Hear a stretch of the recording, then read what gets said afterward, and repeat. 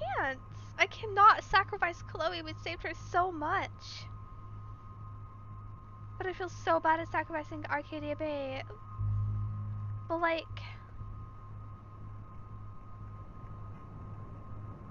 Oh my god, I hate it. Honestly, it's Bay over Bay. B-A-E over B-A-Y. No, not sacrifice. Oh my god, what? Okay.